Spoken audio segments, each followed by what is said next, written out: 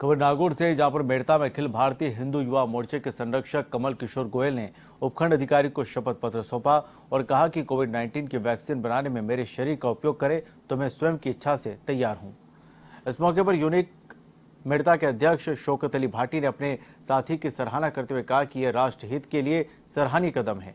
हमेशा सेवा में तत्पर रहने वाले कमल भाई ने अपना जीवित शरीर वैज्ञानिकों और चिकित्सा विभाग को कोरोना वैक्सीन तैयार करने के लिए देने की घोषणा करके मेड़ता का नाम रोशन किया है।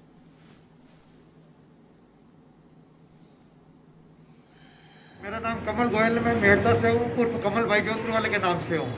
मेरे काफ़ी टाइम से, मेरी मिसेज की कैंसर से डेथ होने के बाद में मेरी सबसे इच्छा ये रही कि मैं देहदान करने की मतलब संकल्प ले चुका हूँ मैं।